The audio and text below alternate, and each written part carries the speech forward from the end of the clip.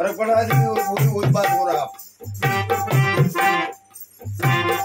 है